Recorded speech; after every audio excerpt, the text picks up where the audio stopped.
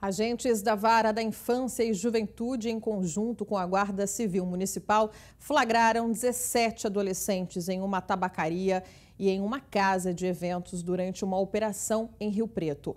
Os locais foram indicados por meio de denúncias.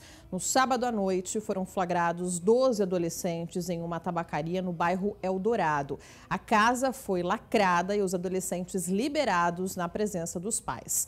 Na madrugada de domingo, a operação flagrou uma festa com cerca de 250 pessoas, né? Muitos jovens acabaram aí fugindo e foi possível identificar apenas cinco menores.